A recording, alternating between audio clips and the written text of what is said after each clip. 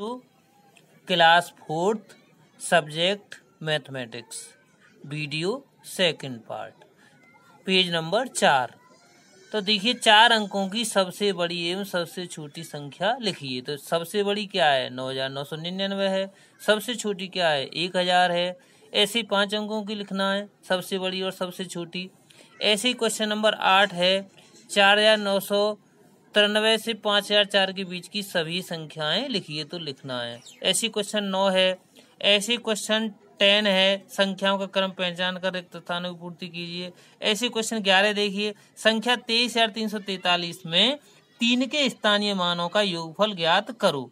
तो योगफल कितना आया? तीन हज़ार तीन सौ तीन आया। ऐसी छोटा या बड़े का चिन्ह की सहायता लगाना है। ऐसी आठ हज़ार दो सौ छप्पन है और ये आठ हज़ार एक सौ उनहत्तर है। तो कितना आएगा? आठ हज़ार दो सौ छप्पन की तरफ़ आएगा, क्योंकि ये बड़ा है। ऐसे ही क्वेश्चन नंबर इधर देखिए तेरहवा आरोही क्रम में लिखिए। तो आरोही क्रम में सबसे पहले सबसे छोटा अंक लिखते हैं। ऐसे ही अवरोही क्रम में सबसे पहले सबसे बड़ा अंक लिखते हैं। तो आठ हज़ार नौ सौ निन्यानवे सबसे बड़ा है। ऐसे ही सरल कीजिए इधर देखिए। दो हज़ार आठ सौ, तिरपन प्लस छह हज़ार दो सौ सत्तावन प्लस तीन सौ पच्चीस कितना आया? नौ हज़ार चार सौ पैंतीस। ऐसे ही क्वेश्चन सत्रह देखिए, चार हज़ार तीन सौ पैंसठ गुणा पाँच। तो कितना आया? इक्कीस हज़ार आठ सौ पच्चीस गुणा आया। पाँच, पचम पच्चीस, ऐसे करके आपको करना है। ऐसे ही अठारह देखिए, भागफल एवं शेषफल ज्ञात कीजिए। तो कितना आया? यानी ये कितना आया? एक सौ पचानवे आया। और शेषफल कितना आया? तीन आया। अब देखिए क्वेश्चन खा देखिए, ये वाला। दो हज़ार आठ सौ भागित पाँच, ऐसे कितना आया?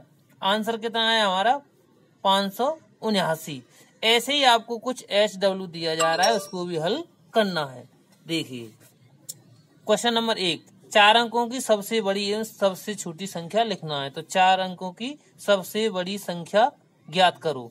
ऐसे क्वेश्चन नंबर, ये भी है, क्वेश्चन थर्ड देखिए, क्वेश्चन फोर आरोही क्रम में लिखिए, क्वेश्चन पाँच अवरोही क्रम में लिखिए ऐसे सरल करो, ऐसे ही भागफल एवं शेषफल ज्ञात कीजिए, इसको भी हल करना है। धन्यवाद।